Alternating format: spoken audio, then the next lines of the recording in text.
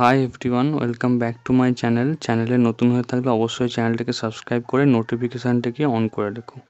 তো আজকে আমি মেনলি যে জিনিসটা নিয়ে কথা বলব সেটা হচ্ছে নিট দু হাজার তেইশের পেপার অ্যাটেম্পটিং স্ট্র্যাটেজি তো দেখো, আমি আমার নিজের যে পেপারটি তোমরা দেখতে পাচ্ছ স্ক্রিনে মানে নিটের যে পেপারটি সেটি নিয়ে তোমাদেরকে বোঝাবো যে কীভাবে অ্যাটেম্প করলে স্মার্টলি তোমরা ম্যাক্সিমাম স্কোর করতে পারবে এবং খুব ভালো স্কোর করতে পারবে। অনেকের হয় কি যে ভালো করে পড়ে যায় কিন্তু পেপার অ্যাটেম্পটিং স্ট্র্যাটেজি এত বাজে থাকে যে তাদের নাম্বারই ওঠে না।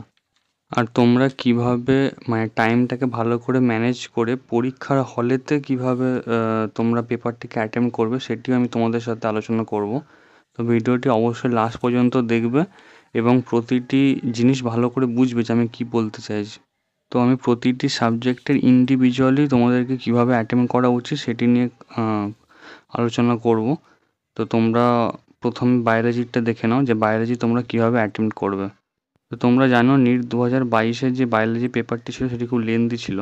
তো আমি তোমাদেরকে বলি যে সবসময় পেপারটাকে অ্যাটেম্প করবে দু তিনবারে মানে দু তিনটি অ্যাটেম্পটে করার চেষ্টা করবে। যেমন আমি যখন শুরু করেছিলাম বায়োলজি পেপারটি তো শুরুই করেছিলাম একশো তিন নম্বর কোশ্চেন থেকে।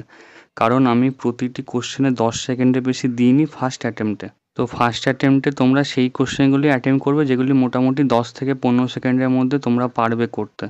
এবং বাকিগুলি গোল দাগ দিয়ে রেখে দাও, তোমরা পরের অ্যাটেম্পটে সেগুলি সেগুলি চেষ্টা করবে। তো ফার্স্ট অ্যাটেম্পটে কখনোই লেন্দি কোশ্চেন করতে যাবে না, কারণ তাতে ভুল হওয়ার সম্ভাবনা আরও বেশি থাকে। আর টাইম ম্যানেজমেন্ট পুরো বিগড়ে যায় মানে টাইম তো অনেক বেশি চলে যায় প্রথমেই যদি তোমার লেন্দি কোশ্চেনগুলি অ্যাটেম্প করো তো। আর মোটামুটি ফিফটি পার্সেন্ট কোশ্চেন এমন থাকে যে কোশ্চেনগুলি তোমরা দশ থেকে পনেরো সেকেন্ডের মধ্যেই ভালো করে সলভ করতে পারবে। তো সেগুলি করার পরে তোমাদের কনফিডেন্স লেভেলও অনেক হাই থাকে। তো পরে যখন সেকেন্ড অ্যাটেম্পটে তোমরা এই লেন্দি কোশ্চেনগুলি অ্যাটেম্প করবে, তো তোমাদের ঠিক হওয়ার সম্ভাবনা অনেকটা বেড়ে যায়। আর থার্ড অ্যাটেম্পটে তোমরা সেই কোশ্চেনগুলি অ্যাটেম্প করবে, যে যার যেটা সম্পর্কে তোমরা কিছু জানো না, হয়তো দুটো অপশানকে তোমরা এলিমিনেট করতে পারছ। তো সেগুলি একদম লাস্টের জন্য রাখবে যে দুটোর মধ্যে অপশান এলিমিনেট করার পর যে দুটো বাকি থাকছে, তার মধ্যে কোনটা অ্যান্সার হতে পারে সেটা ভাববার জন্য ওটা তোমার থার্ড অ্যাটেম্পটে করবে। আর সেকশন বি এর জন্য বায়োলজির ক্ষেত্রে বলি, তো সেকশন বি তোমরা খুব কেয়ারফুলি অ্যাটেম্প করবে, কারণ তোমাদের প্রথম দশটাই কাউন্ট হবে।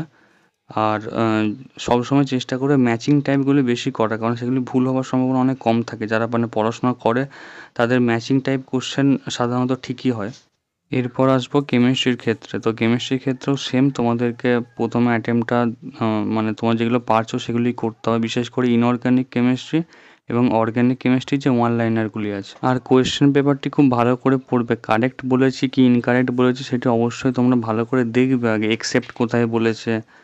মানে প্রতিটা অপশন পড়ে তারপরেই অ্যান্সার দিও। কারণ কেমিস্ট্রিতে এটি খুব অসুবিধা হয় কারেক্ট ইনকারেক্টের আর একটা কথা বলে রাখি সেকশন বি এর ক্ষেত্রে মানে কেমিস্ট্রির ক্ষেত্রে যেগুলি ফিজিক্যাল থেকে লং ক্যালকুলেশন কোশ্চেন আছে, সেগুলিকে অ্যাভয়েড করার চেষ্টা করবে এবং তোমরা যেগুলি ইনঅর্গ্যানিক অর্গ্যানিক থেকে আছে, সেগুলি ভালো করে করার চেষ্টা করবে। আর অ্যাসাসিনেশন যে কোশ্চেনগুলি আছে, সেই কোশ্চেনগুলিকে তোমরা ভালো করে আগে ভাববে যে ওটা কারেক্ট এক্সপ্লেনেশন না কারেক্ট এক্সপ্লেনেশন নয়।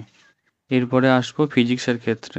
তো ফিজিক্সের ক্ষেত্রেও সেম তোমরা যেগুলি প্রথমে পারবে, সেগুলি অবশ্যই অ্যাটেম্প করবে। তারপরে গোল দাগ দিয়ে রাখবে, পরের অ্যাটেম্পটে সেগুলি অ্যাটেম্প করার চেষ্টা করবে। আর ফিজিক্সের ক্ষেত্রে চেষ্টা করবে যে যেগুলি মোটামুটি ফর্মুলা দিয়ে চলে আসে যে কোশ্চেনগুলি অ্যান্সার সেগুলি প্রথমে অ্যাটেম্প করার, কারণ সেগুলি অনেক কম টাইম কনজিউমিং হয় আর মার্কসও চলে আসবে ভালোই। তো ওগুলি প্রথমে অ্যাটেম্প করার চেষ্টা করবে। আর ইউনিটের খেয়ালটা তোমরা অবশ্যই ভালো করে রাখবে ফিজিক্সের ক্ষেত্রে। দেখা হচ্ছে নেক্সট ভিডিওতে থ্যাংক ইউ